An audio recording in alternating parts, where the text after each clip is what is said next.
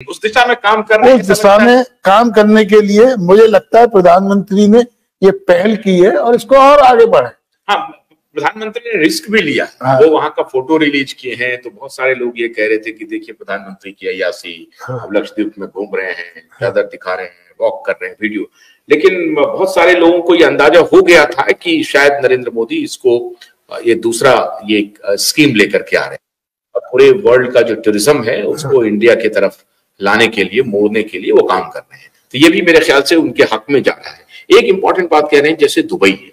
वो एक प्रकार से वहाँ टैक्स है बहुत कम है और काफ़ी लिवरेज है। अगर उस तरह का कोई पॉलिसी यहाँ बन जाता है तो भारत तो सोने की चिड़िया हो सकती है दस साल में हो जाएगी। देखिए दुबई में केवल अभी दो तीन साल पहले टैक्स लगा है उससे पहले वहाँ कोई कोई टैक्स नहीं था। हम्म। और इनकम टैक्स भी नहीं था और इवन हम्म वो नहीं था। हम्म। जबकि दुबई पे कहीं दुबई पे वो नहीं है ऑयल नहीं है। हम्म। केवल टूरिज़्म से ही उनकी इकोनॉमी आगे बढ़ी। इकोनॉमी बढ़ी और क्योंकि वो एक प्रोग्रेसिव माइंड के सिटी हो गया। हाँ, तो उन्होंने बड़ा से कि इंटरनेशनल सिटी था और इंटरनेशनल ट्रेडिंग का वो सिस्टम बनाया। तो सुब्रत रॉय जैसे कि जब सिटीज़ बना रहे थे ये 217 सिटी में मुझे याद है। हाँ। और तब Subrata Roy Turner and Turner brothers जो दुनिया के सबसे बड़े मतलब रियल स्टेट के टैकॉन से वो बात कर रहे थे। हाँ। तो सोचते तो वो बड़ा थे काम भी कर रहे थे। तो उनको लग रहा था कि अरे एक लाख डेढ़ लाख करोड़ क्या है? वो तो बाएँ हाथ का मेरा खेल है वो मैं इमीडिएटली दे दूँगा। अगर 217 सिटीज़ में उनका हाउसिंग प्रोजेक्ट टेक ऑफ़ हो गया। हाँ, हाँ, तो जो आज रियल स्टेट की स्थिति है जैसे मैंने नागपुर में उनका हाउसिंग सिटी देखा है लखनऊ में देखा है। अगर वो टेक ऑफ़ हो गया होता तो क्या स्थिति होती? देखिए ऐसा है कि मैंने एक फ़िल्म देखी थी अमेरिकन लाइब्रेरी में जाता हूँ हम्म। कि अमेरिका में एक कंपनी थी। हम्म। और पता नहीं रियल थी या केवल एक बनावटी फ़िल्म थी लेकिन वो अमेरिकन यूनियन पैसिफिक हम्म। तो यूनियन पैसिफिक ने एक दिन डिसाइड किया पूरे यूएसए की रोड बनाएँगे। हम्म। तो जो उनमें सबसे फाइन पावरफुल डायरेक्टर था फाइनेंशियल उसने रिजाइन दे दिया। हम्म। रिजाइन दे दिया हम्म। कि भाई ये जो है बहुत रिस्की प्रोजेक्ट है। हम्म। इतना पैसा चाहिए इतना पैसा। हम्म। लेकिन उसने एंडरसन उसका नाम था जो उस फ़िल्म में था उसने उस प्रोजेक्ट को हम्म। कंटिन्यू किया। हम्म। और उसने करने के बाद में उस प्रोजेक्ट को लगभग वो सक्सेस कर सत्तर अस्सी परसेंट पे जाके वो फंस गया। हम्म। तो वो फिर उसके पास में अल्टीमेटली वो एंडरसन उसी डायरेक्टर के पास आया जो रिजाइन कर गया था। हम्म। वो खुश हो रहा था भाई एंडरसन हम्म। मैंने कहा था ना हम्म। तुम फंस जाओगे तो पहले तो उसने पूछा आप आए कैसे? मतलब आना क्या मजबूरी थी। क्योंकि अमेरिका में आपके अलावा कोई ऐसा आदमी नहीं बचा जिसका पैसा इसमें नहीं लगा हाँ, सरकार है। बोला वो चलो ठीक है लेकिन ये कैसे आपने सोच लिया हम्म। कि आप मैं इसमें पैसा लगाऊँगा? हम्म। वो इसलिए कि मैं जानता हूँ आपसे ज़्यादा इंटेलिजेंट आदमी इस दुनिया में नहीं है। हम्म। जिस समय आपने मना किया था उस समय हंड्रेड परसेंट रिस्क थी। इस समय सेवेंटी फाइव काम हो चुका है। Only twenty five percent risk and the profit is multi time multi times तो आप ऐसा प्रपोजल रिजेक्ट नहीं कर सकते।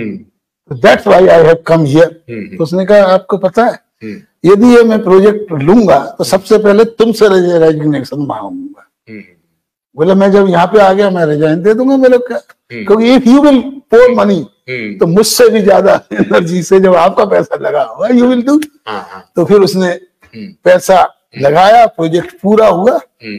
तो दैट इज़ उसने कहा हम्म। जो पब्लिक फ़ंक्शन हुआ that is my success hmm. But success of the dream of Adam तो वो सपने तो यूएसए एक ऐसा कंट्री है जो सपनों को साकार करना चाहता है। हम्म तो यहाँ दिक्कत क्या है? और सोचिए कितनी बड़ी बात है कि जिन जिनको रिजाइन करके बाहर गया जो डायरेक्टर हाँ। वो फिर उसके पास जाता है और हाँ। उसको रिक्वेस्ट करता है वो कहता है कि आप आइए फिर वो टेक ओवर करता है और वो रिजाइन करके चला जाता है जो उनको बुलाने जाता है। हाँ हाँ। कमाल की बात है हाँ। ये हिम्मत की बात है। हाँ, वो कहता है कि भाई मेरे को सक्सेस नहीं ड्रीम सक्सेस चाहिए। तो उसने कहा भी it is my business success hmm. क्योंकि उस समय फंसा हुआ था शेयर गिरा हुआ। But the success of the dream of mister Adam सपना उसका सत्य हुआ व्यापार में मेरा। मेरा। तो यहाँ पे क्या है कि जो ड्रीम है हम्म, वो ड्रीम के अंदर उसने सारा ने एक नीचे से उस लेवल तक तो उसने पहुँचा दिया हम्म।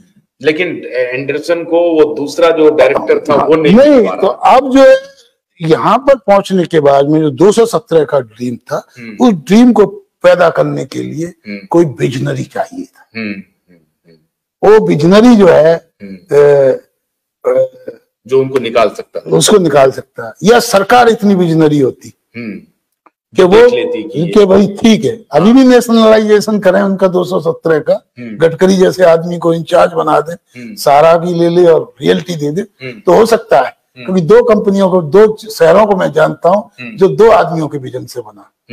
एक नोएडा संजय गांधी के विजन से और एक गुड़गांव जो राजीव गांधी के विजन से।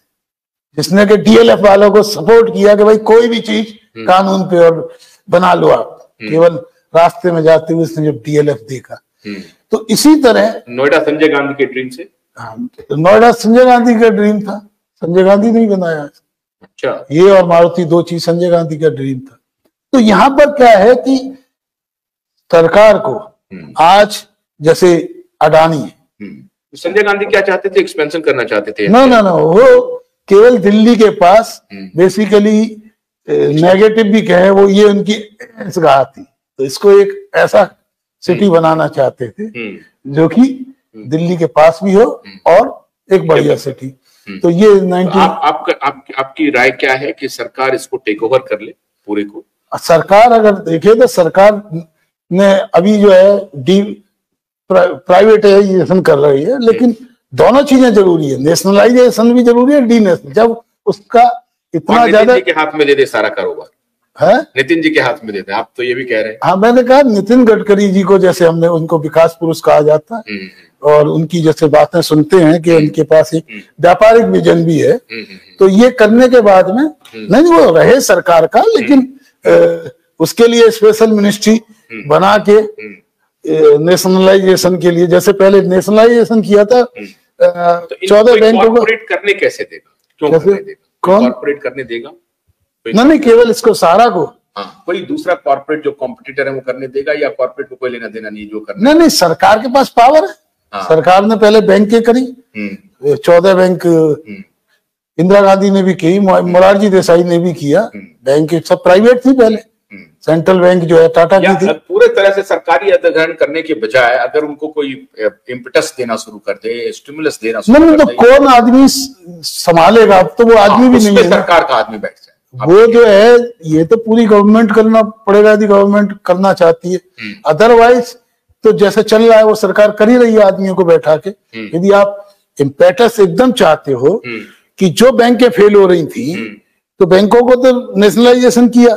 एयरलाइंस को भी नेशनलाइज किया उस समय। तो इस समय भी गवर्नमेंट को वो करने के बाद में अगर इतना बड़ा फैलाव है साठ करोड़ लोगों का मामला है तो उसको वो नेशनलाइज कर सकती है। ऑर्डिनेंस ला के नेशनलाइज करके नेशनलाइज बहुत सारी कंपनियों को किया करने के बाद में वो चल रही थी इतनी स्टील अथॉरिटी सेल सब चला रही है ना गवर्नमेंट ठीक है। ध्रुव जी आपसे तो घंटों बातचीत करना पड़ेगा इसलिए मैं सहारा के निवेशकों और दर्शकों से ये कहूँगा कि ध्रुव जी से कल हम फिर बात जारी रखेंगे कि कैसे सहारा और प्रबंधन दोनों मिलकर के इस काम को अंजाम तक पहुँचा सकती है और निवेशकों का पैसा वापस आ सकता है और सहारा कंपनी में भी एक नया, एक कॉन्फिडेंस बिल्ड किया जा सकता है और नए कॉन्फिडेंस से सहारा कंपनी रिवाइव कर सकती है, सरकार के सहयोग से या पूर्णतः सरकारी बन करके जो भी तरीका हो सकता है जिसमें सबका हित प्रोटेक्ट हो, सहारा कंपनी के लोगों का भी हित प्रोटेक्ट हो और जो उनके एम्प्लॉय हैं उनका हित प्रोटेक्ट हो। मेरी हमेशा ये कोशिश रहती है कि जो सहारा के जो एम्प्लॉय हैं, उनका भी हित होते रहना चाहिए और हित हो जाए निवेशकों के साथ साथ। और निवेशक भी ऐसा चाहते हैं। तो हमारी बस इतनी ही कोशिश है कि वाइब नेटवर्क की, कि प्रधानमंत्री जी और गृह मंत्री जी, आप अगर चाहेंगे, जैसा ध्रुव जी ने कहा, आज एक राय दी है, कल हम फिर आपसे बात करेंगे।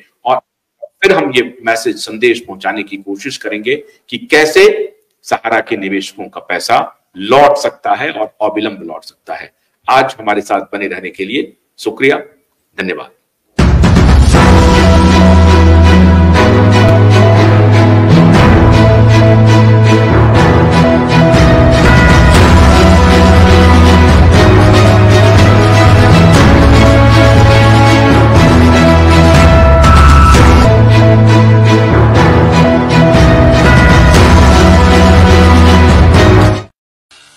Bholanatha's brush cutter is a battery-operated machine with a charging time of 3.5 hours, boasts an impressive operating time of 6 to 8 hours, allowing it to efficiently cut through 16,000 square feet of wheat or rice fields on a single charge, while its petrol counterpart consumes 1,000 Indian rupees worth of petrol for the same task.